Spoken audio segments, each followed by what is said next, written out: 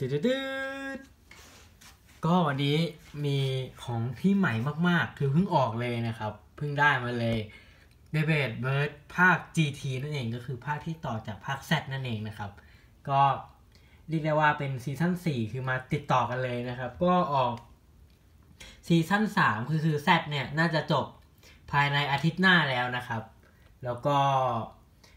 ภาคต่อไปคือซีซั่น4ก็คือภาค GT นั่นเอง น่าจะออก เดือน4นะครับ เห็นเขาบอกกัน อ่า ก็ตัวนี้เป็น slash w a k i r i นะครับ ก็คือ w a k i r i ร่างใหม่นั่นเองที่ต่อจากโชว์ Z w a k i r i เลยนะครับ ก็เขาทำแพ็กเกจกล่องใหม่ด้วยแหละนี่เป็นสามเหลี่ยมนี่หน้าพระเอกหน้าพระเอกดูแบบ ดูโตขึ้น ดูโตขึ้นมากๆอืม นี่ นี่คืออ่าน่าจะเป็นตัว เหมือนไอกะเขาเรียกว่าอะไรวะคู่ คู่ปรับคนใหม่ ไม่รู้จะเรียกว่าอะไรคู่ปรับคือยังไงพระเอกก็เป็นคนนี้อยู่ดีอะคือแม่งมีทุกไม่งออกทุกซีซั่นว่าเอ่อ slash w a k i r i โอเค ก็ผมประกอบไปละแล้วก็ติดสติกเกอร์ไปแล้วด้วย เดี๋ยวเรามาดูกันว่าหน้าตาเป็นยังไงนะครับ ก่อนที่เราจะไปดูหน้าตาของ slash w a k i r i นะครับ เรามาดูคู่มือกับอ่าใบปลิวอ่าของภาคใหม่กันก่อนดีกว่า ก็คือนี่เป็น b e b e Bird ซีซั่น4ภาค GT นะครับ อันนี้ก็จะเป็นตัวต่อไปที่จะออกของภาค GT ออกเดือนอ่าออกเดือน 4 เออ ก็เดือนหน้าวันที่ 27 นะครับ ออกพร้อมแรนดอมใหม่ด้วยแรนดอม 15 จะออกนะครับ แล้วก็อันนี้ก็จะเป็นแคมเปญ อันนี้ผมอ่านภาษาญี่ปุ่นไม่ออก อ่านภาษาญี่ปุ่นไม่ออกอะ่ะ รู้สึกว่าจะได้เดือนสี่นะ ไม่รู้ว่าน่าจะซื้ออะไรสักอย่างแล้วก็ได้ อันนี้รู้สึกจะเรียกว่าอากาจิคือ GT มันย่อมาย่อมาจากกาจินะครับ อืม น่าจะได้มันมันน่าจะเรียกว่ากาจิชิป หรือไอ้สักอย่างเนี่ยผมจำไม่ได้ อืม อันนี้ก็เป็นพระเอกของเรานะครับวอลแล้วก็ไอตัวละครใหม่ ชื่ออะไรไม่รู้จำไม่ได้ อืม โอเคเรามาดูคู่มือกันบ้าง มีมือเดียวต้องทำแบบนี้ คือไม่มีขาตั้งกล้องไงประเด็น อุ้ยอุ้ยล่วงอ่าเนี่ยเนี่ยเนี่ยเดี๋ยวเดี๋ยวให้ดูเดี๋ยวให้ดูนี่ครับ นี่คือ slash w a k i r i นะ แล้วก็มีอ่าที่ชูดอันใหม่ให้นะครับ คือไอ้กล่องกล่องของวาคิรี่เนี่ย ไม่ได้ให้ที่ชูดอะไรมาเลย ก็ให้มาแค่ตัวเบเบดเฉยๆถ้าอยากได้ที่ชูดต้องซื้อเพิ่มนะครับ นี่คือที่ชูด อันใหม่ที่เพิ่งออกนั่นเอง ก็สีน้ำเงินนะครับ มีสัญลักษณ์ของวาคิรี่อยู่ตรงนี้นะครับ แล้วก็สายยาวขึ้นนะฮะ ไม่ใช่อันนี้เป็นอันปกตินะ ไม่ใช่ limited เป็นปกติแหละ ขายปกติ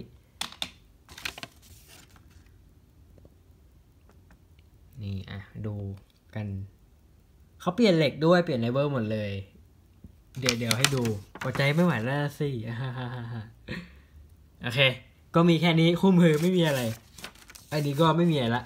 เราไปดูของจริงกันเลย นี่ก็คือ Valkyrie ร่างใหม่ล่าสุดที่เพิ่งออกมานั่นเอง รู้สึกจะร่างนี้จะเป็นร่างที่หกที่ออกนะครับ ก็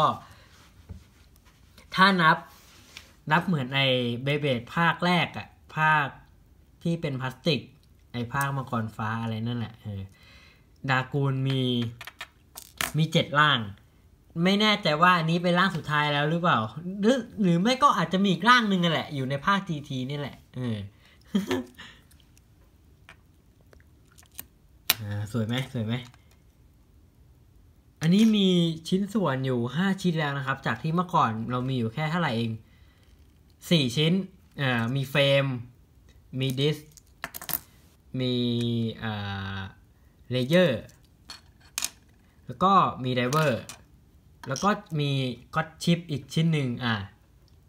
ประมาณนั้น อันนี้ก็มีเพิ่มมาอีกคืออันนี้ เดี๋ยวเดี๋ยวมันรวมมาดูกันว่าออกมาเป็นหน้าตายังไงนะครับ ก็คือเราเอาอันนี้ ใส่เข้าไปนะฮะ ใส่ยังไงวะเนี่ยดูแบบ มีมือเดียวอย่าลืม ตอนนี้มีมือเดียวอยู่ อ๋อ ใส่อย่างนี้ใส่อย่างนี้ อ่า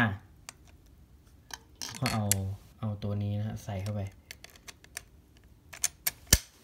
ก็ล็อกต้องล็อกข้างหลังด้วยนะครับ เพราะว่าตัวนี้เนี่ยมันจะเปลี่ยนได้ มันจะเปลี่ยนหน้าหน้าหน้ากากได้นะครับ ก็คือเอาหน้ากากตัวอื่นมาใส่ได้นะครับ แต่ต้องเป็นเอ่อ GT System นะครับ เราใช้ของภาคเก่าไม่ได้แล้วอ่านี่เป็น driver อันใหม่นะครับ driver มันชื่ออะไรไม่รู้แต่ว่ามันเด้งได้ด้วยรู้สึกจะเด้งได้อยู่แค่นี้ อันนี้ก็เป็นเหล็ก